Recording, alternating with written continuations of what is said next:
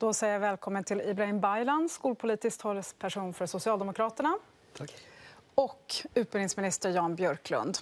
Eh, och jag vill börja med att fråga dig. Ni gjorde ju om den här utbildningen bland annat för att få färre avhopp. Men det har blivit precis tvärtom. Varför då? Vi har höjt kraven kraftigt på utbildningen det är orsaken till att det är mer avhopp nu. Och det är klart att ja, det är möjligen trist för de som känner att de inte klarar av utbildning, men jag lovar det är bra för svensk skola. Vi kan inte ha, den lärarutbildning vi hade förut var nästan kravlös.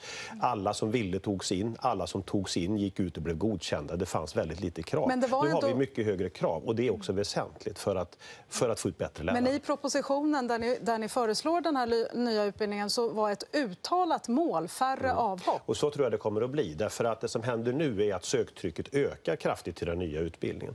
Bara i år så har det ökat med 27 procent jämfört med i fjol. Det är ingen annan utbildning ökar så mycket som söktrycket till lärarutbildningen gör just nu. Och det betyder ju att när vi höjer kraven så får utbildningen högre status. Fler elever med högre betyg söker in på denna utbildning och man kan välja något mer. Man får in mer välmotiverade studenter. Mm. Det märks, för ni har ju mätt första året bara mm. nu, men, men det är det som nu händer. Nu Söktrycket vi... ökar kraftigt ja. i svensk lärarutbildning. måste vi släppa in Ibrahim Baylan. Vad säger du? Gör du samma analys? Nej, alltså, jag tror att vi ska ha höga krav av. Läraryrket är ett viktigt yrke. Det finns få saker som är så viktiga som skolverksamheten vi har i vårt land. Och då ska vi ha de bästa in. Vi ska också ha höga krav i utbildningen. Men det är klart att när regeringen går in med ett uttalande målet att här ska avhoppen minska och de ökar istället, ja, då är det något som är fel. Jag tror att man ska lyssna till studenterna. Vad har regeringen gjort för fel då? Jag tror att, eh, för det första att man inte har försäkrat sig om att utbildningen håller hög kvalitet. Vi vet, vi vet ju att till exempel så är det så att eleverna inte upplever att de får tillräckligt med metodik. Det är inte tillräckligt med, med verksamhetsförlagd utbildning, det vill säga att man är ute i, i praktiken i skolan.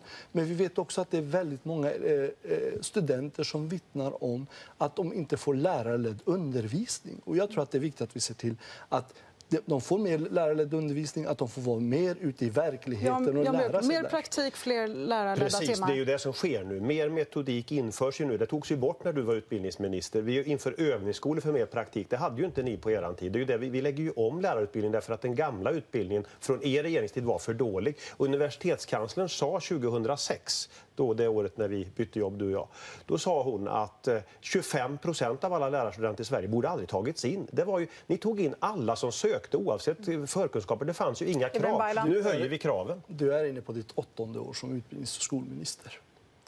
Du inför en, en reform med, med uttalande målet att avhoppen ska minska. De ökar istället. Vi ser samma utveckling inom den gymnasieskola som skulle leda till färre avhopp det ökar. Det skulle uppvärdera yrkesutbildningarna. De, istället är det allt färre ungdomar som söker dem. Är det inte dags att stanna upp, göra en upp, utvärdering och konstatera att verkligheten... Dina intentioner är inget fel på, men verkligheten, utvecklingen går åt fel håll, Jan Björklund. Jag tror dessutom att lärarutbildningen hänger väldigt tätt ihop med utvecklingen i skolan. Jag tror att många lärare idag upplever att de har en sån tung tung situation. Det är alldeles för mm. stora klasser, det är alldeles för mycket byråkrati. Och det är klart att jag tror att det återspeglar vad, vad både Erik och Josefin nu säger, att läraryrket inte är tillräckligt attraktivt. Här tror jag att vi skulle kunna göra saker gemensamt, Jan Björklund, för det är dags att ta sig kragen. Vad vill du göra gemensamt?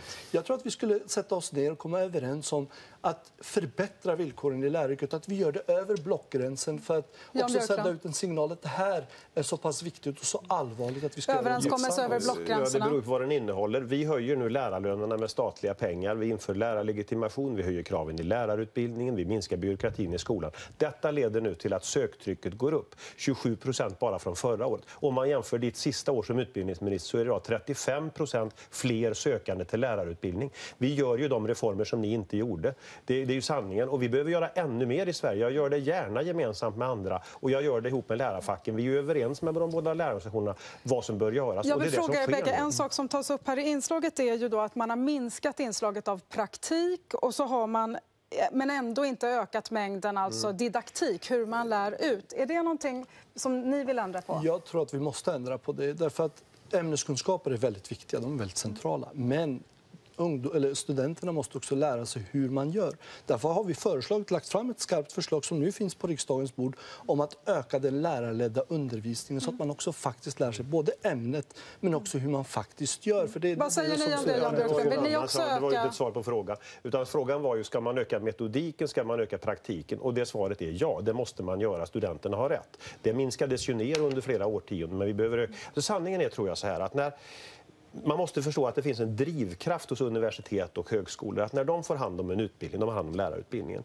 så tror man ofta att det ger högre akademisk status om det är så teoretiskt som möjligt, det blir så abstrakt som möjligt. Och då spolar man ut de här mera yrkesnära inslagen. Metod, hur, hur, metodik det är ju hur man, hur man lär ungarna i klassrum olika alltså, kunskaper och det, det behöver öka igen. Det sopades ut under flera årtionden. Det är ynkligt att höra utbildningsministern skylla ifrån sig. Utbildningen är precis så som regeringen ville ha den. Det skulle bli mer ämnesfördjupning fördjupning och mindre av didaktik. Och så har det precis blivit. Och nu ökar avhoppen.